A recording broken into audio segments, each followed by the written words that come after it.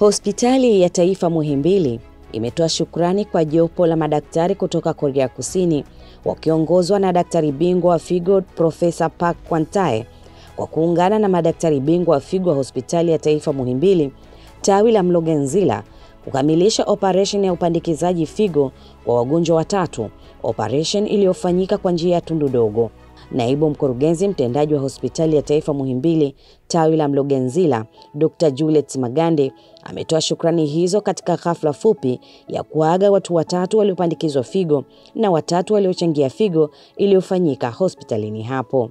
Kwa namna ya pekee kabisa, kwa niaba ya mkurugenzi mtendaji na kwa niaba ya management nzima ya Mloganzila, napenda nitoe shukrani za dhati kwa wenzetu wa Jamhuri ya Korea Kusini kupitia uh, Kofi na Africa Future Foundation kwa sababu ndio wamewezesha kutoa ufadhili kwa bingwa bobez expert uh, Professor Park ambaye ndio ameongoza jopo zima la matibabu kwa hawa wagonjwa wetu.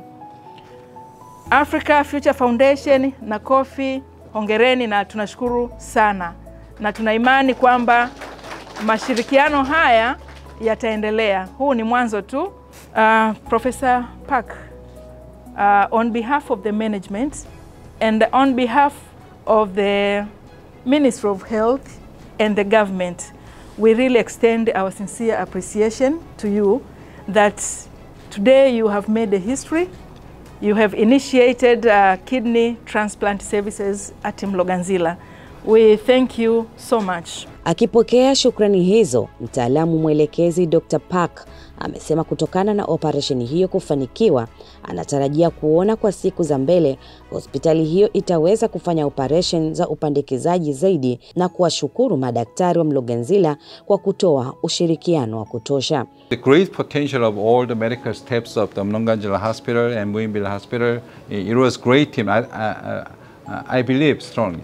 Uh, so it is a great experience for me and a great Uh, honor and prestige to participate in this team and to work together with you. Kwa upande wake, makamu mwenyekiti wa kamati ya utalii tiba Tanzania Bwana Abdul Malik Molel ameshukuru jopo la madaktari waliofanikisha zoezi la upandikizaji figo likiongozwa na Dr. Park kutokea Korea Kusini na kumwomba daktari huyo kuendelea kutoa elimu na taaluma hiyo kwa madaktari wa ndani ili waweze kujitegemea, kusimamia na kukamilisha upandikizaji wa figo baada ya kupata uzoefu wa taaluma na teknolojia ya hali ya juu.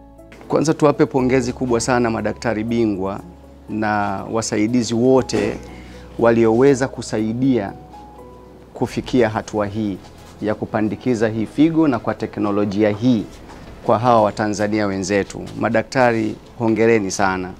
Dr. Park, nothing we can say rather than appreciation.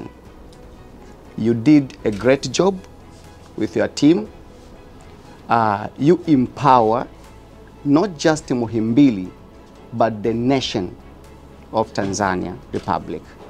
We really appreciate from the Committee of Medical Tourism uh, Nation that this is just a starting. I hear in your speech with your advice, but the advice, it's only perform if we'll build and bond our cooperation. I really believe the knowledge that you give to our doctor. But if not only for these three people, I believe you are coming from a certain management there. Also your government, your influence to your hospital management. If you tell them, we have to go to Tanzania, their demand is high, the patients are many, and the only solution to help them, it is not dialysis, but it is a renal transplant using the technology you have. If we do this, we'll believe as a nation, this exactly, it is a right friendship between your country, your hospital, and our hospital in the country at large. But pass our message, we really need in this country the service you help us. We really appreciate from the committee. Neema Jonas kutoka mkoa wa Kigoma ambaye amethubutu kutoa figo yake moja kumchangia kaka yake amezungumzia operesheni hiyo ilivyokwenda na hali yake kwa sasa.